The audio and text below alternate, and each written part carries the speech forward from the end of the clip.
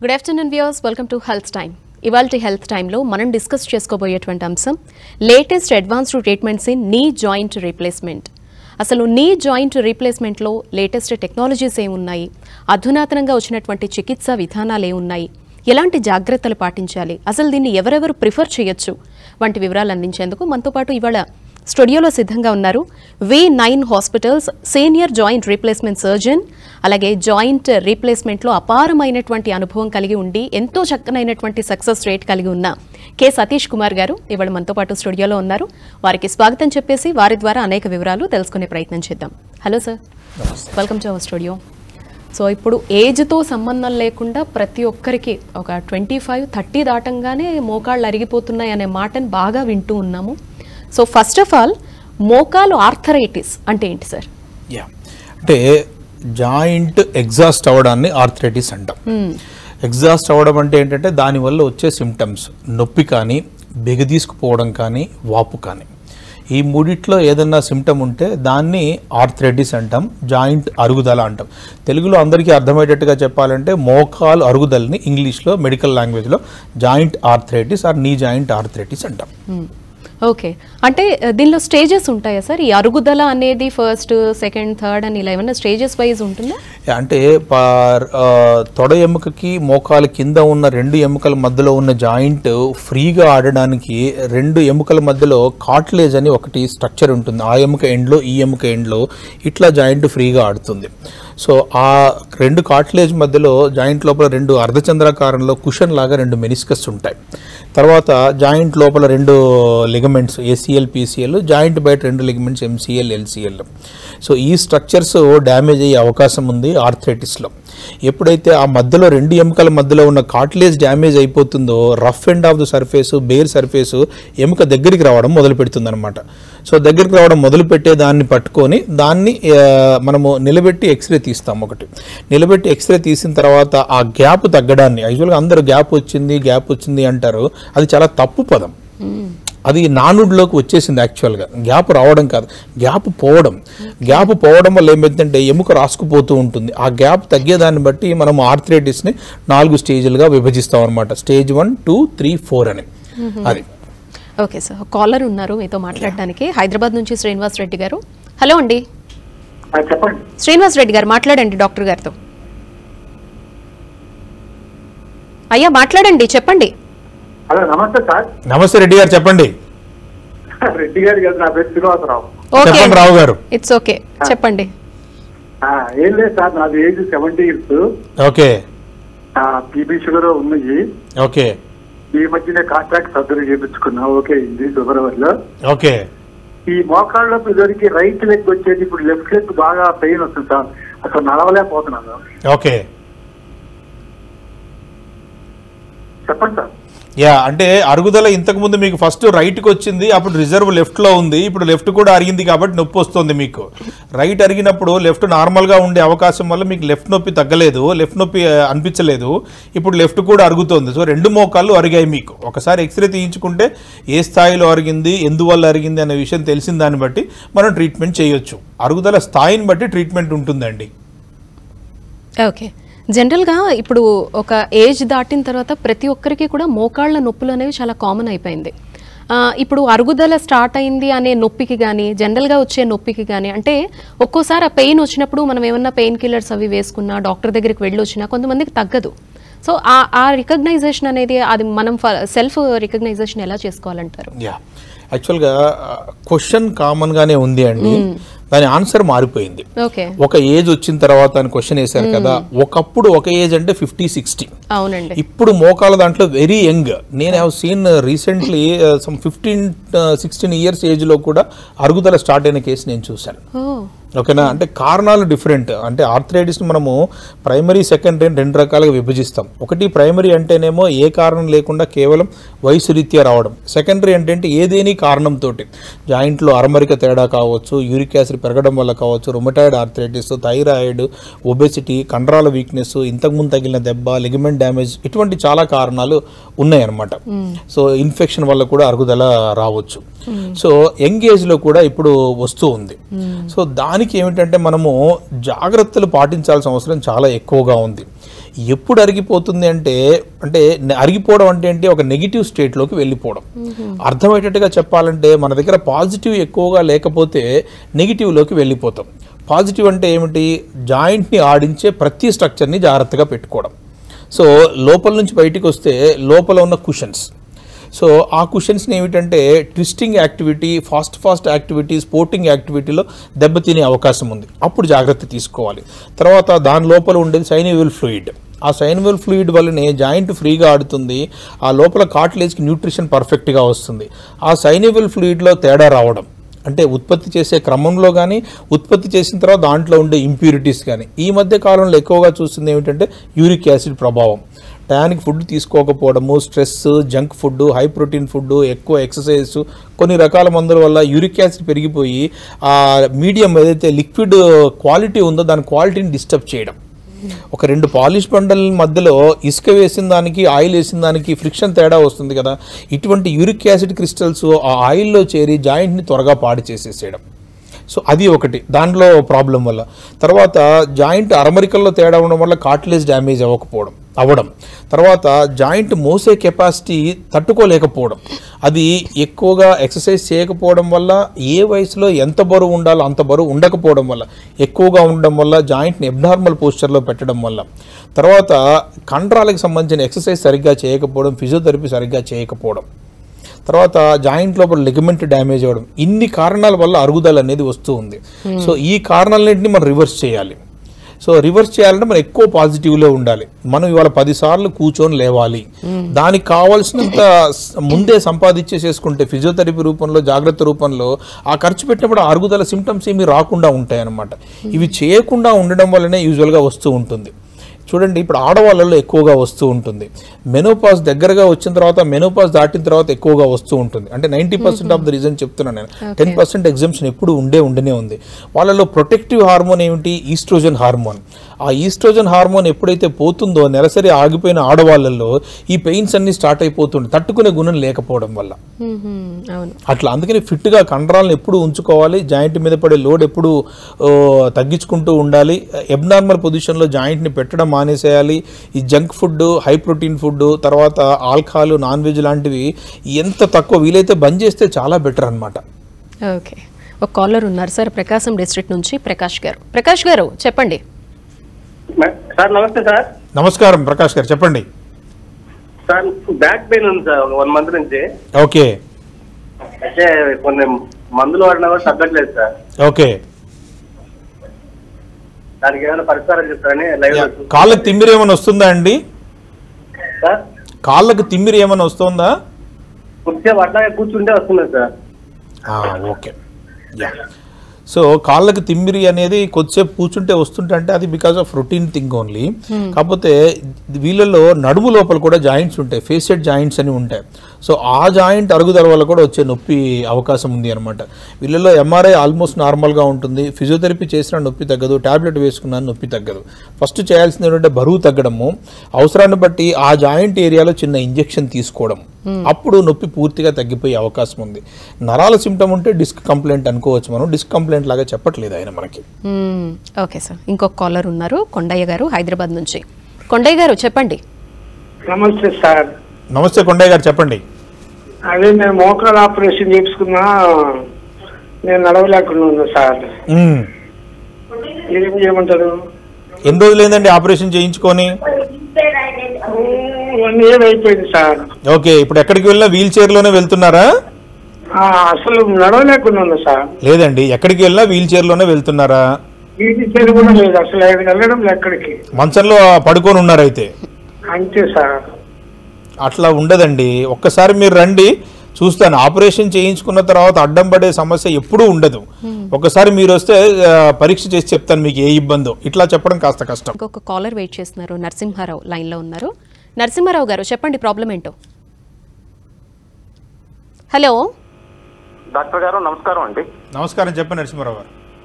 Sir నేను ఈ రెండు మోకాళ్ళు కూడా మీడియల్ కండేల్ ఏరియాలో నొప్పితో బాధపడుతున్నాను sir. Okay. Osteoarthritis third stage అన్నారు. ఓకే. దీనికి latest treatments genicular artery embolism కానీ లేకపోతే సబ్వాస్టస్ రోబోటిక్ సర్జరీ కానీ ఇవి మీ దగ్గర ఉన్నాయి సార్? యా. ఒకటండి ఇప్పుడు స్టేజ్ త్రీలో జాయింట్ రీప్లేస్మెంట్ ఆపరేషన్ అనేది కరెక్ట్ కాదండి ఫస్ట్ పాయింట్. తర్వాత ఈ జెనిక్యులర్ ఆర్టరీ ఎంబోలిజం అనేది ఇంకా టెస్టింగ్ స్టేజ్లో ఉంది కానీ దాని గురించిన పూర్తి రిజల్ట్ లాంగ్ టర్మ్లో ఎట్లా ఉంటుంది అనేది ఇంకా క్వశ్చన్ మార్క్ లాగే ఉంది. ఇంకా ఫిఫ్టీ ఫిఫ్టీ పర్సెంట్ రిజల్ట్ కూడా రాలేదు. ఈ రెండు ఎక్స్పెరిమెంటల్ స్టేజ్లో ఉన్న ట్రీట్మెంట్ని మీరు ఎంచుకున్నారు. దానికి సంజ్ఞానే బెటర్ ట్రీట్మెంట్ ప్లాస్మా థెరపీ ఉంది bone marrow aspirate concentrate therapy ఉంది. అది చూడండి మీరు. అవి మా దగ్గర ఉన్నాయి నేను చూస్తాను అవి. ఓకే సార్ ఆయన ఎలాగో పాయింట్ రేస్ చేశారు కాబట్టి కరెక్ట్ అయిన పాయింట్ ఫస్ట్ ఆఫ్ ఆల్ మనకి డయాగ్నోసిస్ అనేది చాలా చాలా ఇంపార్టెంట్ సో అందులో లేటెస్ట్ ఏమేమి వచ్చాయి సార్ ఇప్పుడు? ఒకటి ఏంటంటే జాయింట్ ఒకటి ఏ ఏజ్లో జాయింట్ రీప్లేస్మెంట్ చేయించుకోవాలని అందరూ అడుగుతూ ఉంటారు మమ్మల్ని. అవును. మాకు ముప్పై ఏండ్లేండి యాభై ఏండ్లేండి ఎనభై ఏండ్లేండి ఎనభై ఐదు ఏండ్లేండి చేయించుకోవచ్చు అని అడుగుతూ ఉంటారు. అయితే యాక్చువల్గా క్రైటీరియా ఏమిటంటే మనకి పేషెంట్ అరుగుదల స్థాయి దానివల్ల పేషెంట్కి ఎంత డిజబిలిటీ ఉంది? ఈ రెండు మాత్రమే criteria age is never a criteria patient ఫిట్గా ఉన్నాడు మనం ఎనభై ఏండ్లకైనా చేయొచ్చు. ఓకేనా? ఫిట్గా లేడు ఇరవై ఏళ్ళైనా కానీ చేయకూడదు. ఎందుకంటే మెడికల్ కండిషన్ అనేది దాని కోఆపరేషన్ దానికి సంబంధించిన మత్తు డాక్టర్ గారి ఫిట్నెస్ కానీ మిగతా ఇబ్బందుల డాక్టర్ల ఫిట్నెస్ కానీ అత్యంత ప్రధానమైనది. ఒక హిమోగ్లోబిన్ తక్కువగా ఉంది పెంచుకొని మనం చేసుకోవాలి. షుగర్ కంట్రోల్ లేదు పెంచ కంట్రోల్ చేసుకొని మనం చేసుకోవాలి. ఎందుకంటే ఒక ఆపరేషన్కి వెళ్ళేటప్పుడు రెండు ఉంటాయి. మాడిఫైయబుల్ నాన్ మాడిఫైయబుల్ అని రెండు ఉంటాయి. మాడిఫైయబుల్ అంటే బీపీ హెచ్చు తగ్గులు హిమోగ్లోబిన్ హెచ్చు తగ్గులు బోన్ క్వాలిటీ ఇవన్నీ. తర్వాత నాన్ మాడిఫైయబుల్ ఉంటాయి గుండె చాలా బలహీనంగా ఉండడం ఊపిరితిత్తుల్లో ఇన్ఫెక్షన్ ఉండడము రక్తంలో ఇన్ఫెక్షన్ ఉండడము జాయింట్లలో ఇంకా ఏదో బోన్ అనేది పూర్తిగా వీక్ అయిపోవడము ఇటువంటి వాటిల్లో మన ఆపరేషన్కి వెళ్తే ఏమవుతుందంటే ఇంతకుముందు పేషెంట్ చెప్పారు కదా అటువంటి రిజల్ట్సే వస్తాయి. అందుకని మనం పూర్తిగా ఫిట్గా ఉండాలి. నా దగ్గరికి ఏదైనా పేషెంట్ వస్తే అవి కంట్రోల్ అయ్యేంత వరకు చేయనని నేను చెప్తూ ఉంటాను. ఎందుకంటే ఇప్పుడు మనం చేస్తాం తర్వాత పేషెంట్ భవిష్యత్తులో ఇబ్బంది పడే రోజులు చాలా ఎక్కువైపోతాయి. అందుకనే ఎందుకంటే ఒక ట్రీట్మెంట్ చేస్తే ఇబ్బంది అనేది సాధ్యమైనంత వరకు తగ్గిపోయి సాధారణ స్థాయికి ఎంత తొందరగా వస్తే అంత మంచిదన్నమాట. సో అందుకని ఈ మాడిఫైయబుల్ నాన్ మాడిఫైయబుల్ మాడిఫైయబుల్ అన్నిట్లోకి మేము చూసి చేస్తూ ఉంటాం అనమాట తర్వాత ఈ అరుగుదల స్థాయి అనేది ఒకప్పుడు మనకి ఈ క్రైటీరియా ఫామ్ చేసినప్పుడు కేఎల్ గ్రేడింగ్ ఫామ్ చేసినప్పుడు ఎక్స్రే ఒకటి అవైలబుల్గా ఉండేది. ఇప్పుడు ఎంఆర్ఐ కార్టీగ్రామ్ కూడా వచ్చిందనమాట సో ఎంఆర్ఐ చేసేస్తే మనకి క్లియర్ కట్గా కార్ట్లేజ్ ఎంత డ్యామేజ్ అయింది ఏ ఏ ఏరియాలో డ్యామేజ్ అయింది ఎంత లోతుకు డ్యామేజ్ అయింది అనే విషయం క్లియర్గా తెలిసిపోతుంది. ఇందాక ఒక పేషెంట్ చెప్పారు మీడియల్ కాండైల్లో డ్యామేజ్ అయిందని చెప్పారు. ఓన్లీ మీడియల్ కాండైల్లో డ్యామేజ్ అయిన దానికి ఆపరేషన్ అంత స్థాయికి వెళ్ళాల్సిన అవసరం లేదు. Another treatments also available MRI cartigram ఒకటి. తర్వాత ఈ అరుగుదల లాగే ఉండి అరుగుదల లాగే నొప్పి వచ్చేది ఇంకొకటి ఆస్టియోపోరోసిస్ దానికి నేనేం చేస్తుంటే డెక్సా స్కాన్ తీయిస్తూ ఉంటాను. సో ఎందుకంటే మోకాలు నొప్పికి రెండు దోహదాలు చేస్తూ ఉంటాయి. ఒకటి బోన్ వీక్నెస్ ఇంకొకటి బోన్ అరుగుదల. మనకి నిలబెట్టి తీసిన ఎక్స్రేలో కానీ ఎంఆర్ఐ కార్టిగ్రామ్లో కానీ ఎంత అరిగిందో ఎలా తెలుస్తుందో డెక్సా స్కాన్ చేస్తే బోన్ ఎంత వీక్గా ఉందో కూడా మనకు తెలుస్తుంది. బోన్ వీక్నెస్కి మనం ట్రీట్మెంట్ ఇవ్వకుండా కేవలం అరుగుదలకి ట్రీట్మెంట్ ఇస్తే తర్వాత పేషెంట్ నొప్పిని అనుభవించే రోజులు ఎక్కువైపోతాయి అనమాట తర్వాత ఇంకొకటి ఆపరేషన్ అంటే అందరూ భయపడేది ఎందుకంటే నొప్పికి. పెయిన్ అనేది ఇట్స్ ఆల్వేస్ సబ్జెక్టివ్ ఒక ముగ్గురు వ్యక్తులున్న ప్రాంతంలో ముగ్గురికి లక్ష రూపాయలే అప్పు ఉంది అనుకుందాం కానీ ఒకళ్ళు రోజు రోజుకు లక్ష సంపాదిస్తున్నారు ఒకళ్ళు సంవత్సరానికి లక్ష సంపాదిస్తారు ఒకళ్ళు నెలకి లక్ష సంపాదిస్తున్నారు. కానీ అప్పు అదే. వీళ్ళ దగ్గర ఎంత ఉందనే దాన్ని బట్టి దాన్ని చూసే విధానం మారిపోతుంది. నొప్పి కూడా అంతే. ఇన్ని సెంటీమీటర్ల కటింగ్ ఇన్ని కటింగ్ ఇప్పుడు నాకు మోకాల్లో మూడు ఎముకలు ఇంకొకరికి ఐదు ఎముకలు ఒకళ్ళు ఆరు ఎముకలు పెట్టలేదు కదా. సృష్టిలో ప్రతివాడు అలాగే ఉంటాడు. కానీ తట్టుకునే తీవ్రత మారిపోతూ ఉంటుంది.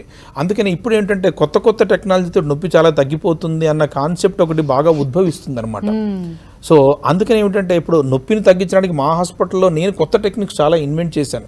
ఇన్వెన్షన్ అంటే ఏమిటంటే ఉన్న టెక్నిక్లు మాడిఫై చేశాను నేను. మా దగ్గర మాడిఫైడ్ మజిల్ స్పేరింగ్ టెక్నాలజీ చేస్తున్నాం. ఎందుకంటే ఎముకని కట్ మన జాయింట్ని కట్ చేసేటప్పుడు చర్మాన్ని కట్ చేసి కండరాన్ని కట్ చేసి ఎముకని కట్ చేసి చేయడం అనేది టెక్నిక్.